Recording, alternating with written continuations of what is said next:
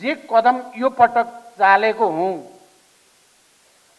मैले प्रधानमन्त्री पदको निम्ति चालेको बिल्कुल होइन भन्ने कुरा मलाई लाग्छ। तपाईँहरू सबैले राजनीतिक दल नेताहरूले पनि बुझ्ने नै कुरा छ। यो समाजवादको आधार तयार पार्ने उद्देश्यप्रति इमान्दार भएर नेपालको राष्ट्रिय स्वाधीनतालाई सुदृढ गर्नुपर्ने आवश्यकताप्रति इमान्दार भएर केही जोखिम केही चुनौती देख्दा देख्दै पनि चालिएको कदम हो।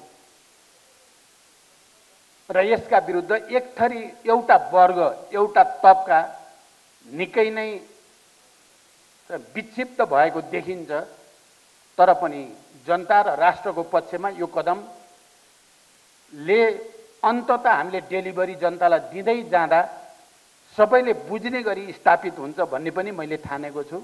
अनेकौं असफल प्रयासलाई सफलतामा बदल्न र आइभीएफद्वारा आफ्नै सन्तान पाउन सम्भव छ। वात्सल्य नेचुरल आइभीएफ संविधानको पनि यहाँ धेरै कुराहरू भए म धेरै त जान चाहन्न। यहाँ एउटा कुरा आयो कि यो संविधान जो बनिएको छ यो पूर्ण छ भनेर हामीले कहिले पनि भनेका छैनौँ। यो सम्झौताकै दस्तावेज हो। त्यहाँ थुप्रै पुँजीवादका विशेषताहरू पनि छन् थुप्रै समाजवादका विशेषताहरू पनि छन्। समाजवादी धारा र प्रवृत्तिका पार्टीहरूले जित्दै जाँदा संविधान समाजवादतिर अझ अग्रसर हुँदै जान्छ। पुँजीवादी र प्रतिक्रियावादीहरूले जित्दै गए भने यो संविधान अझ प्रतिगामी हुँदै जाने खतरा पनि छ। त्यस कारण हाम्रो जिम्मेवारी छ कि यो संविधानलाई बढीभन्दा बढी प्रगतिशील धारातिर अगाडि बढाउनको लागि हामीले आपसी एकतालाई सुदृढ गर्दै इतिहासका अनुभवबाट शिक्षा लिँदै अगाडि जान जरुरी छ।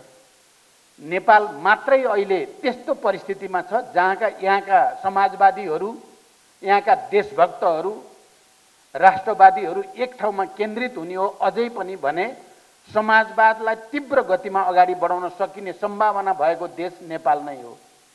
त्यसकारण मैले यिनै कुरालाई आत्मसात गरेर नै केही जोखिम भए पनि केही चुनौती भए पनि देशभक्त वामपन्थीहरूलाई एकतामा ल्याउने जमर्को गरेकै हो।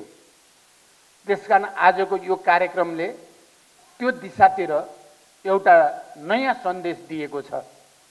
यहाँ तर्क के पनि उठ्यो भने समाजवादको जन्म कहाँबाट हुन्छ सडकबाट हुन्छ कि सदनबाट हुन्छ कि सरकारबाट भन्ने पनि तर्कहरू आए। मेरो विचारमा अन्तत समाजवाद जन्मिने भनेको सडकैबाट हो।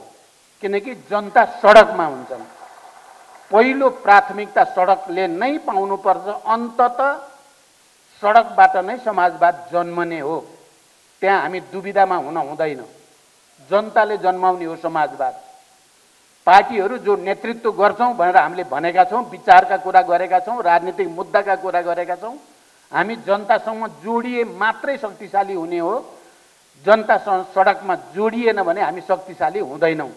तर आजको अर्को यथार्थ के हो भने समाजवादको तयारी गर्नको लागि सदनलाई पनि सरकारलाई पनि सडकलाई पनि अधिकतम उपयोग गर्दै अन्तत सडकबाट निर्णायक ढङ्गले समाजवाद जन्माउने कुरामा हामी केन्द्रित हुनुपर्दछ भन्ने ठान्छु